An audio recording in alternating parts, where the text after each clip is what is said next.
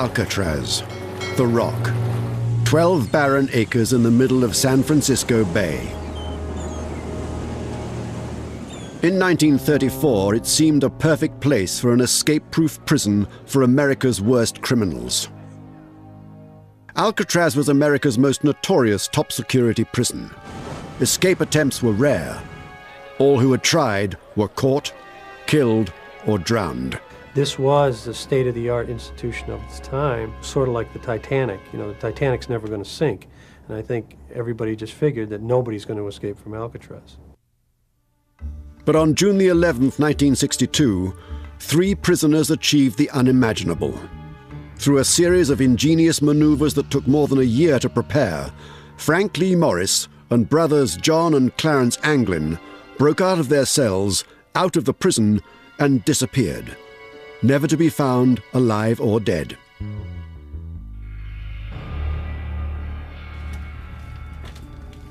It's still a mystery whether they survived or drowned. Some say they are living.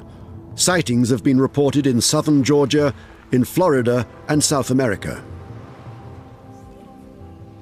The case is still open some 40 years later. Their story began on August the 11th, 1934, when the old military prison located on Alcatraz Island was reopened as a federal penitentiary. Alcatraz is ready. Machine Gun Kelly, just sentenced to life imprisonment, will be among the first tenants. They were going to put the bad, the bad, the worst, the worst there. So it was supposed to be an escape-proof facility. The men that were kept at the uh, Alcatraz facility of the Bureau of Prisons were those who had made numerous escapes or escape attempts from other facilities. Before long, its walls contained some of America's most notorious criminals, including Al Capone, Machine Gun Kelly, Mickey Cohen, and Robert Stroud, the infamous Birdman of Alcatraz. You have to think of Alcatraz as the, as the top of the pyramid. Alcatraz was designed to hold the most the biggest behavioral problems. They had killed somebody, knifed somebody, or they'd had a history of escapes. So it was really the prison for the men who had the worst behavior in other prisons. The maximum capacity of the prison was 600, but Alcatraz rarely exceeded 250 prisoners. It boasted the highest ratio of guards to prisoners. Authorities claimed it was impossible to escape from Alcatraz attempting to escape from Alcatraz, uh, that's more or less a guy that's uh, kind of given up on life because this wasn't the easiest place in the world to break out of. They, they had one guard here to every three prisoners. They had nine official standing counts, but they counted us every 15 minutes, 24 hours a day. The newly fitted out facility had state of the art steel bars, thick concrete walls, and guards rumored to be marksmen with shoot to kill orders. The island was covered with fences, topped with barbed wire. Every day, there were many scheduled and unscheduled body counts and cell inspections. Then there was the bay itself. Alcatraz was an island prison. It's more than a mile to San Francisco. The water was said to be unbearably cold, the tides and currents treacherous, and there were reports of man-eating sharks. Some of this was true, and some was exaggeration designed to scare the prisoners. Alcatraz Island has been surrounded with myths from its very inception. Some of those myths were that the water was way too cold for a man to survive the swim from Alcatraz the mile and a half to the mainland. This is not true. Since 1900, it had been swum regularly with no problem. There was also the myth put forth that the guard, the guards on Alcatraz were expert sharpshooters. Many of them were not sharpshooters at all. The Bureau of Prisons announced publicly that San Francisco Bay was filled with great white sharks, which of course eat human beings. There are no great white sharks in San Francisco Bay, and there never have been. Despite this propaganda, escape attempts were made.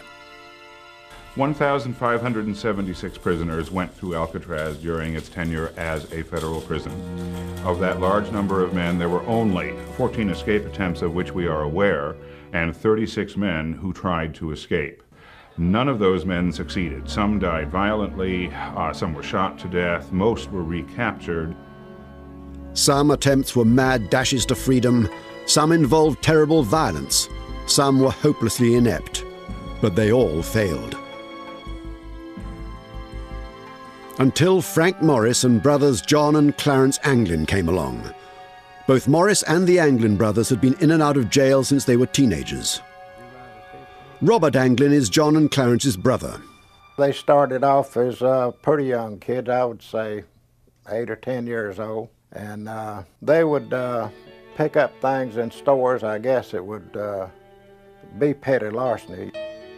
John and Clarence Anglin were always in trouble, always stealing together, always planning and organizing their burglaries. They had to go to the reformatory school for that for maybe a couple of years and they had uh, broke out of one, well, one right after another. They couldn't keep them in them. Yeah. they committed a bank robbery with a toy pistol and were caught. You don't go around robbing banks with toy pistols, you get killed. When they were caught, they threw the book at them. They wound up with 30 plus years for sentences. John William Anglin was doing his time at the federal penitentiary at Leavenworth, Kansas. When he tried to escape, he was transferred to Alcatraz in the autumn of 1960. He was 30 years old. The following January, Clarence Anglin, a year younger than his brother, followed him from Leavenworth to the Rock. Frank Morris came from a very tragic background. Mother, father abandoned him drifted into crime, wound up in various state prisons, including Florida's. Frank Morris was serving a 14 year sentence for bank robbery at the federal penitentiary in Atlanta, Georgia, when in January 1960 he was transferred to Alcatraz. In the spring of 1961, these men first hatched their plan to break out.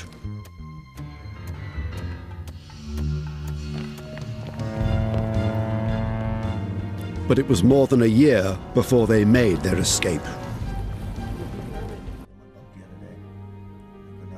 The plan to break out of Alcatraz was actually made by four men Frank Morris, John and Clarence Anglin, and another prisoner named Alan Clayton West. West had been in Alcatraz since June 1958 and had spent a lot of time in solitary confinement.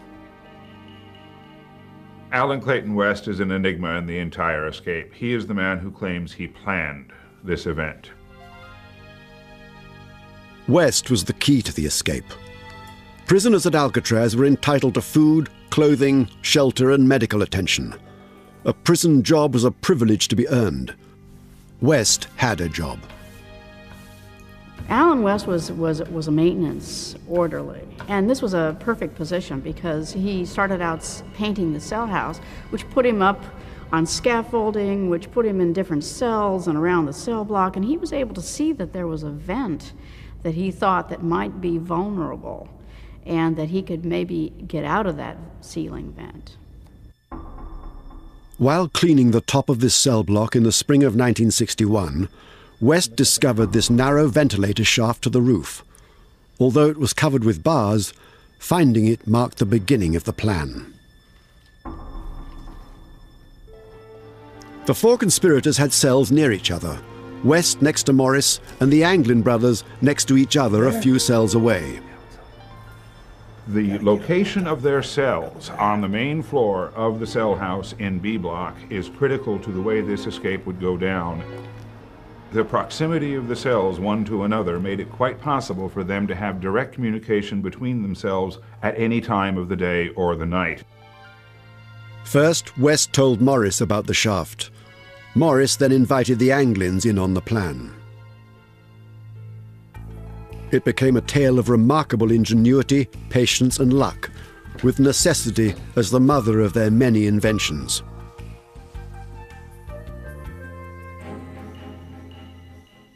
Behind those cells was a rarely used utility corridor filled with a maze of pipes. Once they were in this narrow passageway, it was an easy matter to climb the three stories to the top of the cell block. From there, they hoped to escape through the narrow ventilator shaft onto the roof, and from the roof off the cell house and down to the water and off the rock. But first, they had to find a way out of their cells. The only way they could get into the utility corridor, which was behind their cells, was to excavate, that is, make bigger, the vents that already existed in the back of each cell. The vents were only a few inches high and wide. The grills were buried in eight inch thick concrete. To break through, they started with simple implements, whatever they could lay their hands on. At one point, they even made crude power tools. They also had to conceal the noise of their chipping away at the concrete. One theory is that they worked while other inmates practiced their musical instruments. Every night after dinner, uh, the musicians uh, were allowed to play for approximately an hour, an hour and 15 minutes. There were uh, accordions, saxophones, trumpets, guitars. I mean, it was just a cacophony of noise. A former prisoner, Whitey Thompson, provides another explanation. He was on the same cell block as West Morris and the Anglins and says ongoing construction in the cell house also had covered the noise they were making. The maintaining guards was knocking out a wall over an A block to make it bigger, to make it into the records office. Them jackhammers, when they're knocking out that wall, I mean, that sound was deafening. And under cover of the same noise, Morris and the Anglin brothers were going through the backs of their cells with these little homemade chipping hammers. Finally, after several months, they were able to squeeze their bodies through. The excavation of the vents in the back of the cells they concealed by making fake vents out of cardboard. These vents were painted with the colors of the cells. So once the men would leave their cells at night, they could conceal that their exit with this fake vent. Well, they had to be very careful about leaving their cells. There always had to be one man watching.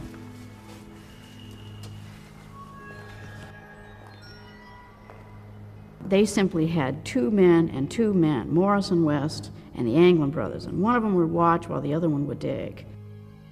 Their secret plan was widely known among the other prisoners, dozens of whom helped. I was astounded to read in the FBI reports that maybe as many as 80 inmates out of the 160 or 180 that were still on Alcatraz knew about it.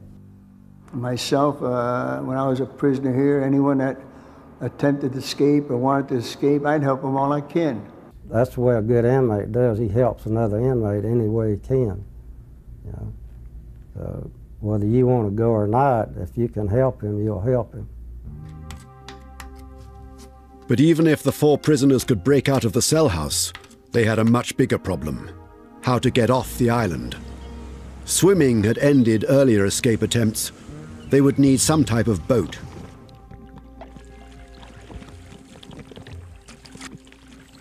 They found the solution in the prison library.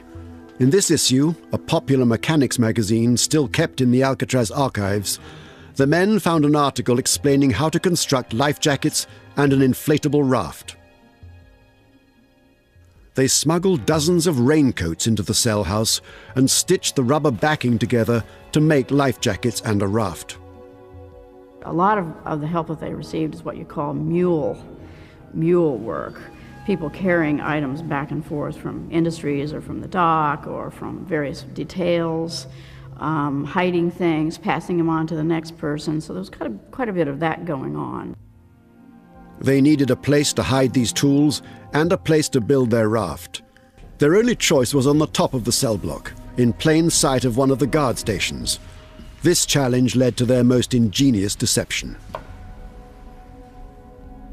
One of the most controversial aspects of this escape, and this was hidden from the general public until the early 1990s, was the fact that a part of the cell house was blocked off from view by between 40 up to as many as 80 blankets. Alan Clayton West is the one who pulled this stunt, the biggest trick of this entire escape. West convinced the guards that to prevent dust and paint from splattering on the floors below, while he cleaned and painted the top of the cell block. He had to hang blankets. Damn it, West! What's going on up there? Of course, the real reason to hang blankets was to conceal their work on the escape. They were able to follow through with their escape because of the incompetence of the security. No question about it. Can you imagine being able to put up blankets uh, on top of a cell house so that no one could see what was going on be behind those blankets? Unbelievable. The guards allowed the blankets to hang for more than two months. To fool the guards while they worked on top of the cell block, they constructed dummy heads to pass the nightly head counts. These are the actual heads they made, carefully preserved in the prison archives and rarely seen. People wonder where did they get this material to make a mask? Everything was already in that cell. You take soap, mix it into a paste. You take toilet paper and mix it into mache, mix the, the concrete dust uh, from the concrete, the dust you accumulate from under your bed, the soap, and the toilet paper, combine it all together and you can make a terrific mask. Whitey Thompson provided an essential ingredient. I'm the artist that showed Frank Morris how to mix the color of flesh tone for them dummy heads. To make the heads as realistic as possible, they covered them with human hair. Clarence Anglin was working in the barber shop at this time, and he would leave at the end of the workday, returning to his cell, carrying real human hair in his pockets. After many months of preparation, the last part of the plan, making the raft, was nearing completion. The four prisoners were counting the days to their breakout from Alcatraz, the inescapable prison.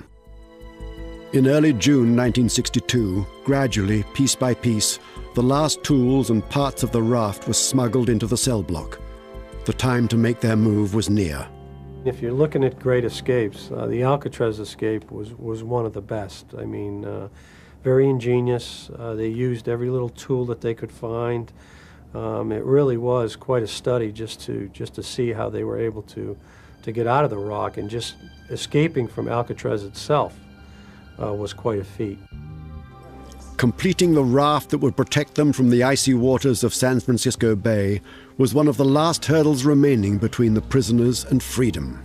The raft measured 14 feet by 6 feet, and it was a very big raft, in other words. It was made out of between 40 and 80 raincoats that were waterproof, and it was successfully sewn down in the shops.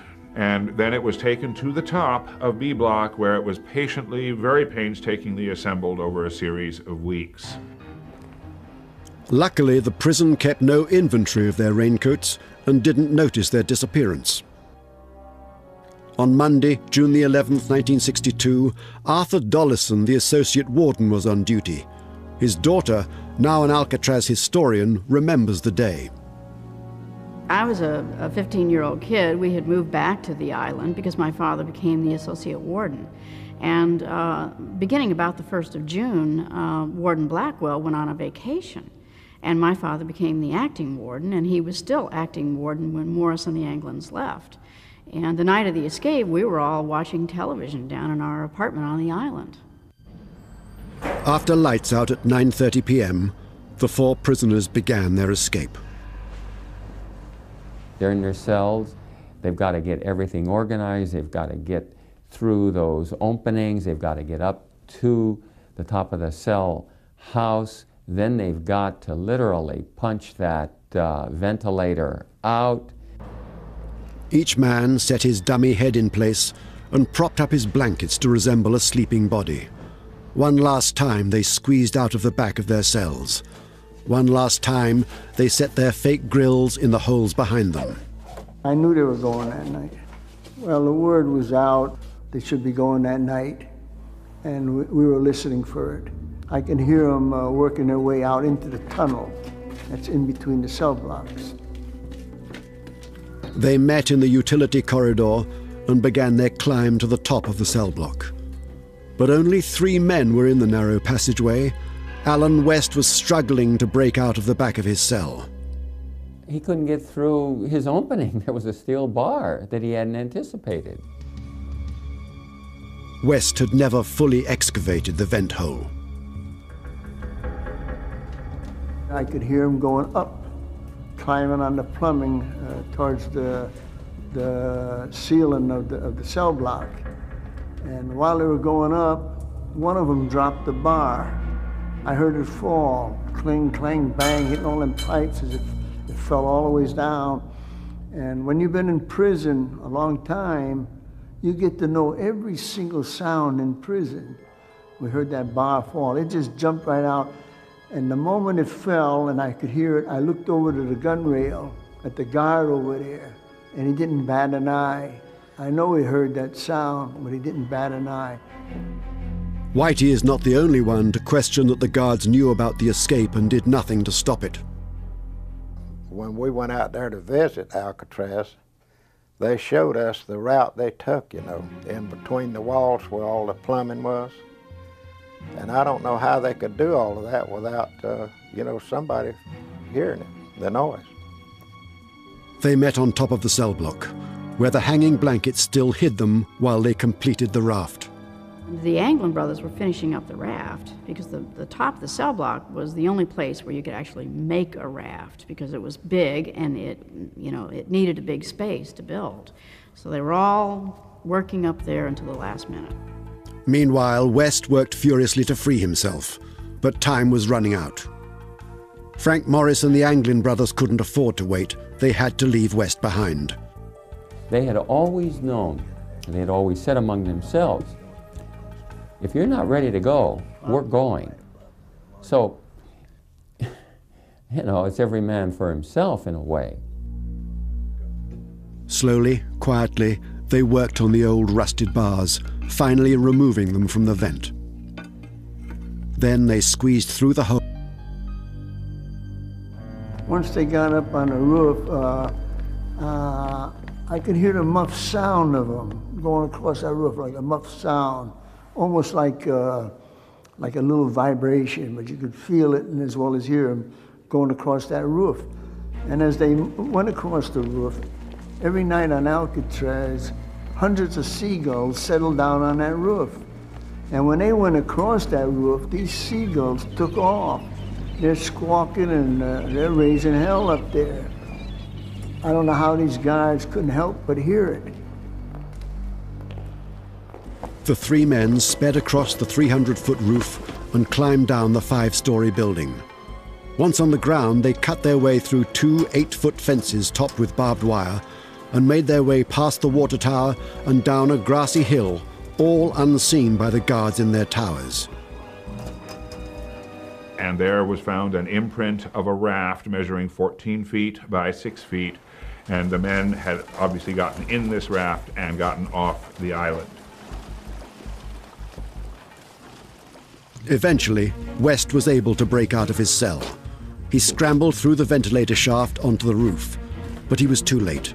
The others had gone. The man who came up with the original escape plan waited on the roof until dawn when he returned to his cell in despair.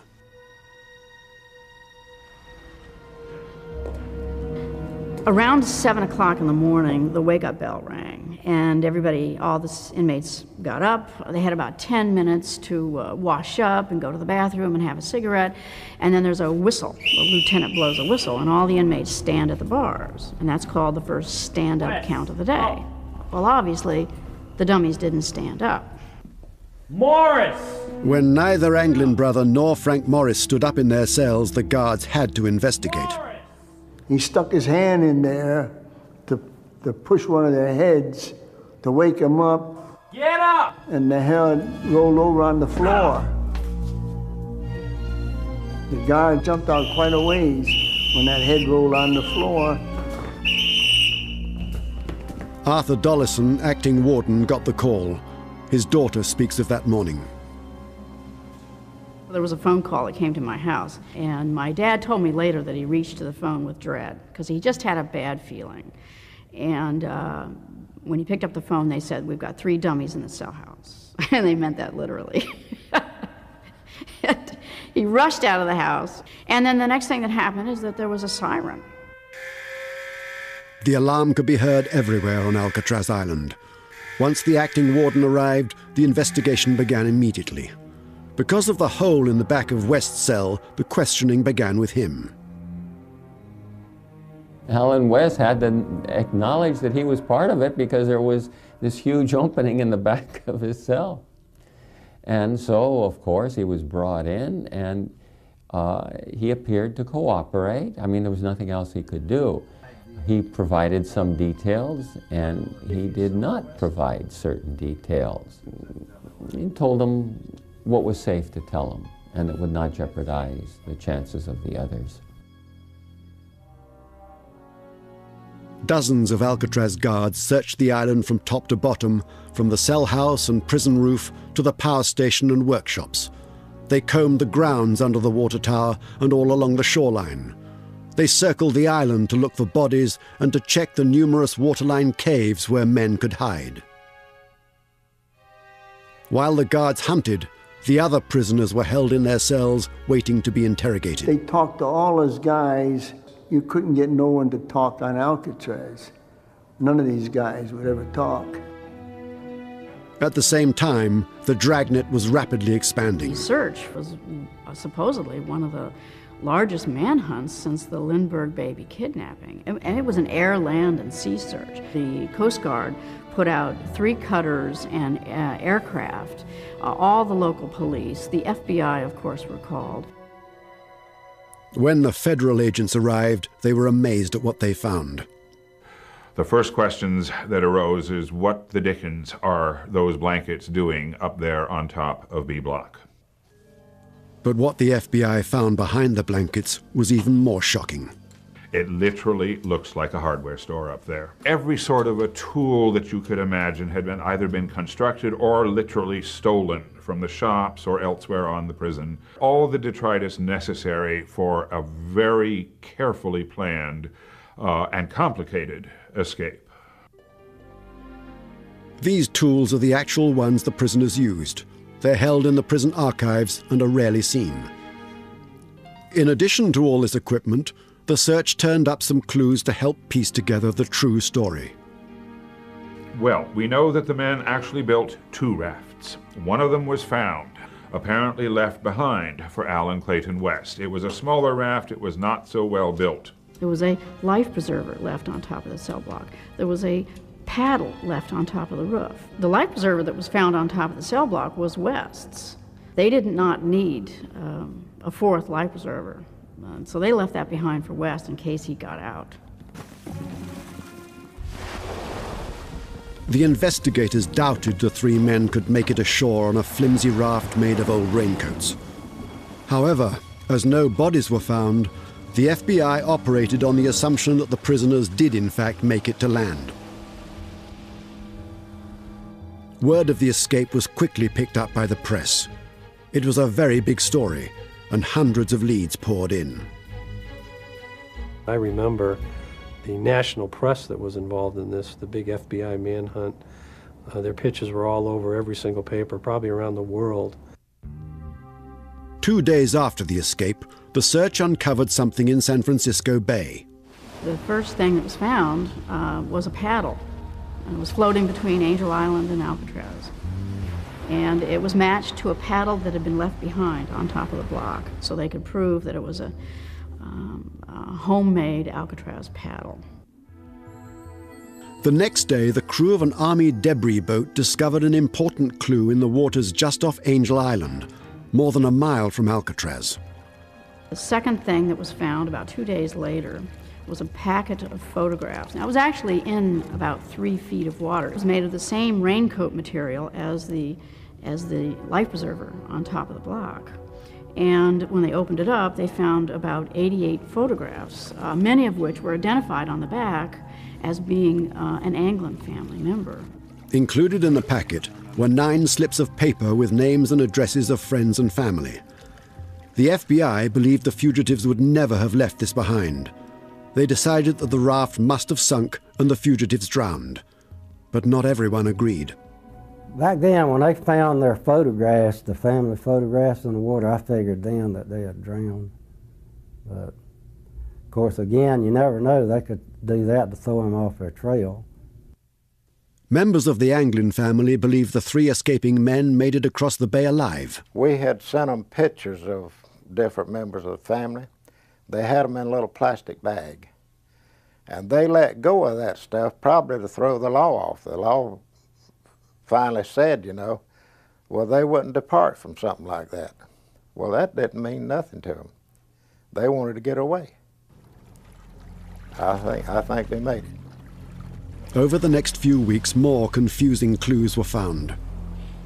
One, then two, then three of the life jackets the men were wearing on the night of their escape floated and appeared in San Francisco Bay. One of them just off the shore of Alcatraz Island, one of them out beyond the Golden Gate Bridge, and another one closer to Angel Island. But their big raft was never found, nor were their bodies.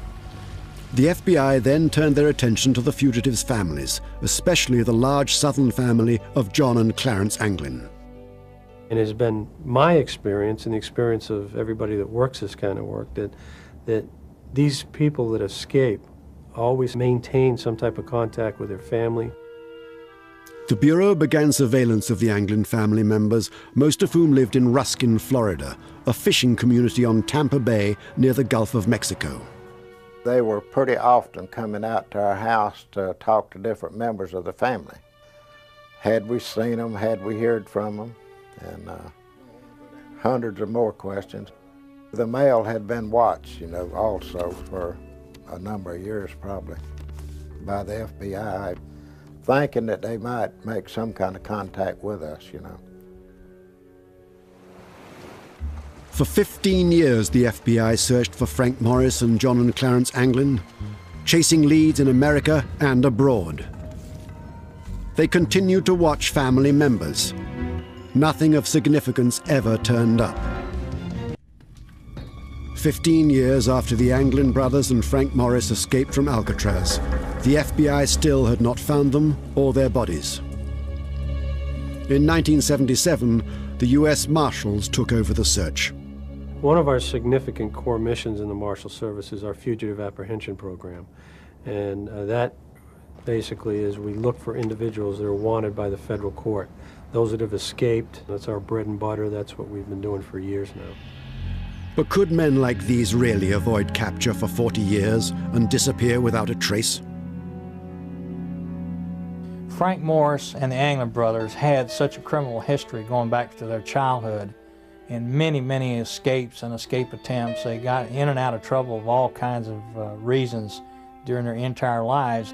So the question has always arisen in my mind, could these three individuals get away and stay out of trouble uh, for all these many years since then? Once you escape from Alcatraz, you go underground, and that's it for the rest of your life.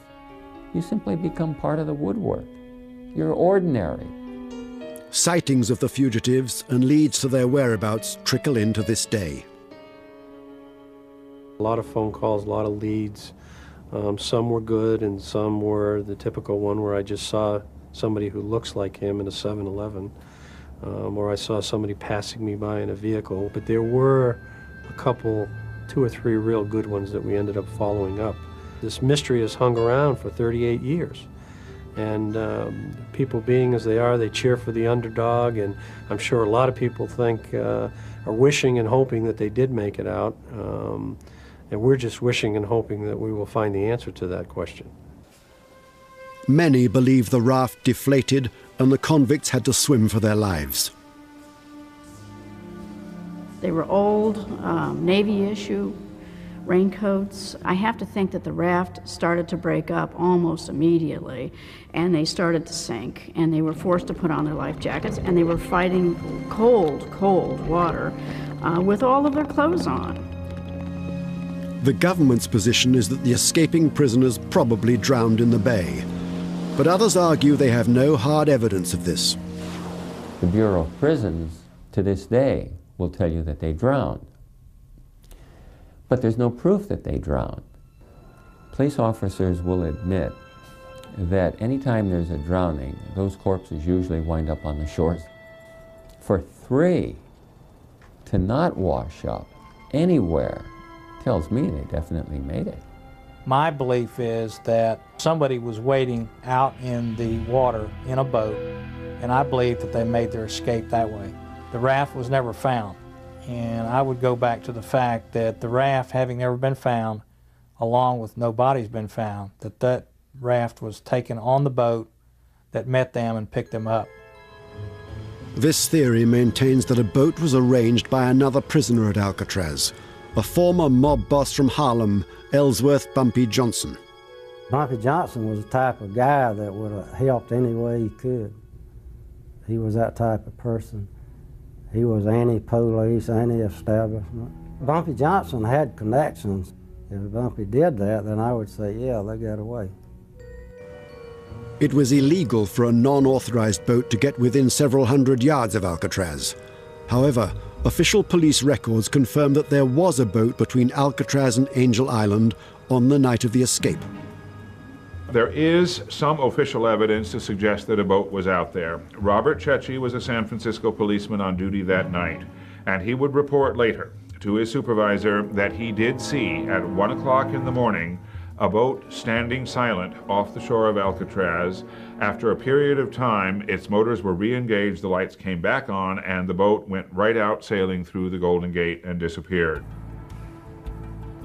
The authorities believe that if the fugitives survived, it's likely they fled the country, first to Mexico and then possibly to South America. These men had studied Spanish while they were in prison during the course of the nine months they planned this escape. The men did plan from the very beginning to escape down to South America, where they figured they would be fairly secure from discovery. A search of Allen West's cell turned up a map of Mexico torn out of a road atlas. The question has been asked many times about just where did these three individuals go after they escaped. Brazil would be one of those countries that you could go to and there's no extradition. A lot of criminals who have gone to Brazil to escape American authorities in the past. The marshals had good reason to suspect that this is exactly what Morris and the Anglins did. Another individual out in Texas came up with uh, information that her grandfather had pointed out to her one of the individuals who had escaped successfully from Alcatraz and was looking for paperwork to get out into a foreign country. One of the most promising leads involved a former friend of the Anglin brothers who reported seeing them in Brazil in 1975. Art Roderick was directly involved in the investigation and interviewed the informant himself. This one seemed to be pretty good based on the fact that he had known them previously and wasn't just identifying them off, you know, the pictures that we had. So uh, those are always the best leads, uh, friends or family members. There was a lead that was chased down in Brazil. We were told uh, again by a tipster that they had in fact seen these individuals at a bar in Brazil. Uh, we pursued that to the point where a deputy did in fact go to Brazil and find this bar and did some interviews down there without any results. In 1989, a promising lead started one of the most peculiar escapades in the continuing manhunt. The informant was a woman the authorities called Kathy. There were anonymous tips called in, and one of those was forwarded to our office here in Tallahassee. It was with a description of where a house and a trailer located outside of Marianna, Florida, was located. That there were two people living there that was believed to be Anglin and possibly Frank Morris. Marianna is in northern Florida, near the Georgia and Alabama state lines. For several weeks, U.S. Marshal Mac McClendon drove around back roads hunting for the fugitives. That lead led us through half the county, and we did not find the, uh, the place we were looking for. The individual who provided these anonymous tips had, had knowledge that most people would not know unless they were familiar with the case, familiar with the Anglin brothers. In spite of all the tip-offs and searching, they have never found the fugitives. Some cite a great deal of circumstantial evidence suggesting the fugitives survived.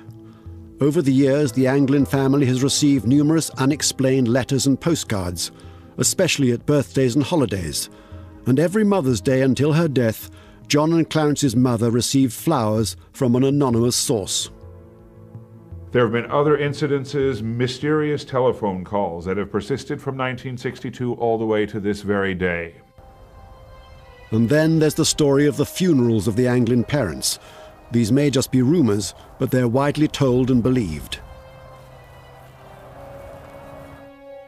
In 1973, their mother died.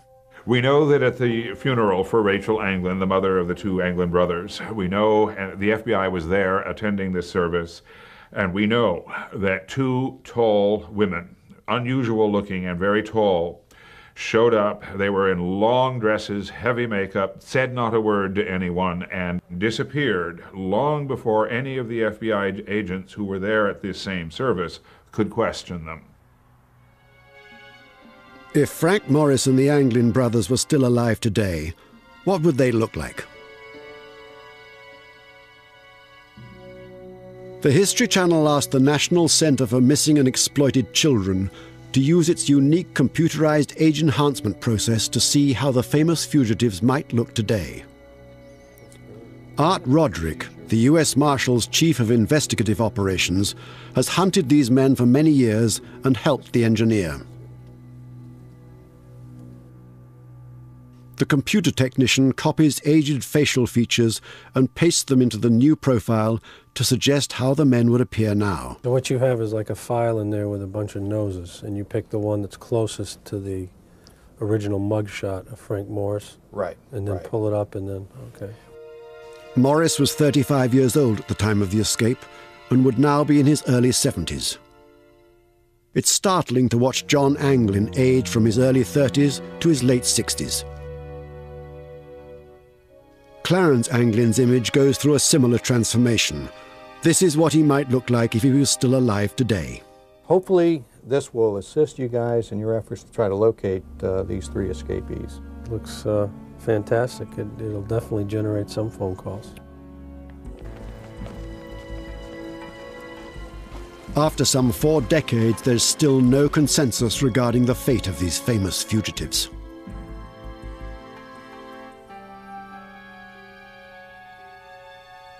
It's difficult to speculate, and I hate to say that they didn't make it because as soon as I say that, sure enough, they'll turn up a week later. But uh, more than likely, I don't think they made it out of the water so to the other side. For those people who insist they drown, I respond by saying they haven't done their homework. They don't know what these boys were really like. They were not going to drown.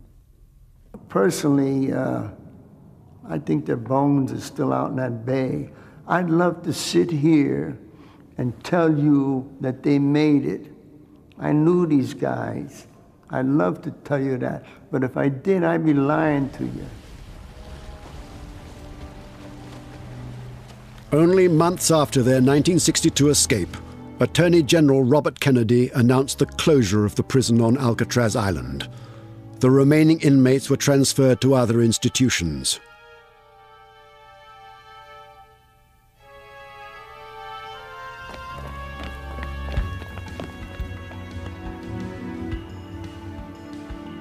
Now, Alcatraz, the escape proof prison, stands empty in San Francisco Bay and has become a tourist attraction.